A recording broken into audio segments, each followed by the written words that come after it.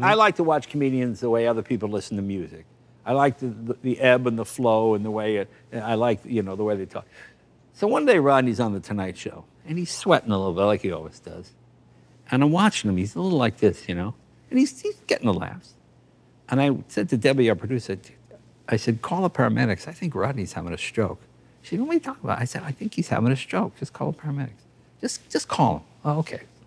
Well, he did have a stroke and they took him to the hospital. Okay. So I went to see him in the hospital, and he gets out of the hospital.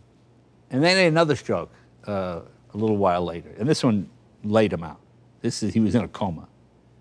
So Joan calls me one day, and she says, uh, uh, "Jay Rodney's in a coma, and he he can't see, and he I mean he can't react to anything, but I think he can hear us." So would you? I said, "Yeah, I'll call car." So I go on. I'm, I'm talking to Rodney, you know, and Joan says to me, and Rodney's lying there.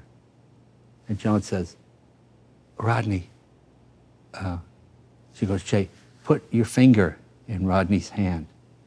Rodney, if you know it's Jay, just squeeze his finger if you can. So I put my finger in his hand. I feel a little squeeze, and I go, Rodney, that's not my finger. Right? so, so Rodney does this. And she goes, ah, he moved, he moved. And Joan goes, he moved, he moved. And, and he moved. And I, oh, and I felt so good that I made Rodney laugh, you know and he didn't. He, he died soon after that. But, but I, you, I, I, just remember that. I just remember he went. He went. He liked this because he did hear the joke, and it's I always thought, the laugh. Yeah, and and it, yeah, it's about the laugh, and it was yeah, it was really a tender moment, and uh, just one of those moments that really make you tell that to some people. Go, oh, how horrible! But comics understand no, what comics, it is. What are you I talking mean, yeah, about? It's, it's, yeah, yeah. I remember. I remember uh, Patrice O'Neal. Oh boy, he was a great comic. Uh, unbelievable comic. We're at Patrice's funeral, right? And you know, every every comic from New York, Jay, came to Patrice's funeral. We're all there, and comics start to go up and you know are speaking and saying things just about Patrice. And the funeral slowly morphed into one of the best comedy shows yeah, that that you've ever seen. I'm talking Rich Voss, Colin Quinn, Jim Norton, Bill Burr, myself.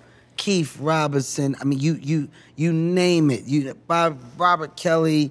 Uh, I mean, the list goes on and on. But comics were coming up and giving their best 15 minute sets, but involving Patrice, right. and it really made you understand we speak a language of our own. Right, right. Right. And and that language that we speak always it always involves the laugh. There's nothing more important than the laugh. Oh, yeah. And that's that's what we always want. And you know, I think sometimes it's hard for people today to understand that a comic means no real harm. Yeah. He's going after the laugh, and in doing right. so, right. you know, the yeah. the bullshit can happen, and right. the comic's like, oh my god, I stepped in it. But he was just trying to go for the laugh because I, no, no, that's that's I, the I most it. important thing.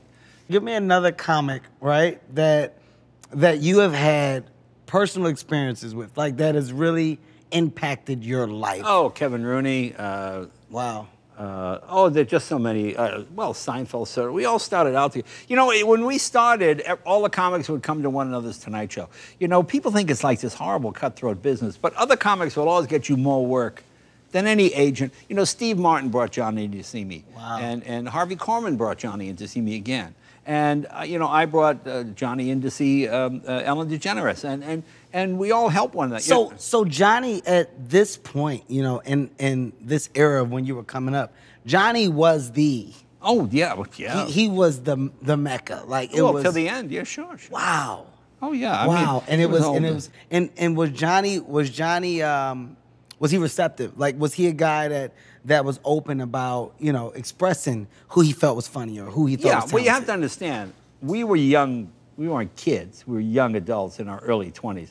Johnny was a man, mm. and you know, I grew up in a house where you he said Mr. Carson. I wouldn't I wouldn't call him Johnny. Mm. Uh, Mr. Carson, call me Johnny. Would you? So that was always awkward when I do the Tonight Show with him because well, you know, Mr. Carson. I, I just felt weird. So when Letterman got his show, and I, I, go, hey Letterman, nice tie, you know, and I could trash him like I would in a club or something, and it, it just became much looser. So there was always a, a reverence and a respect for Johnny that it, it wasn't like he was another comic. He was the comic. You know, it's it's like Eddie Murphy to my generation. Oh, sure, yeah. Right? So Eddie would occasionally pop into comedy clubs. Right. He would occasionally pop in and sit in the back. And when Eddie came in, you always knew because comics just kept looking up. Right. Every comic just kept looking up. And the reference was Eddie's up there. And for some reason, there was a thing that you felt. You felt like if you looked up and you saw Eddie laugh, well, that equaled success. Right, sure. To some degree, it equaled, oh my God. Well, it did. It did It's a different success. stamp of approval. Yeah, because right? if he liked it, it's, I Yeah. mean, it's gold. I mean, there were so many shows. We did Merv Griffin and Mike Douglas, but Johnny Carson was the one that put you on the map. If Johnny laughed, well, then that was, you know.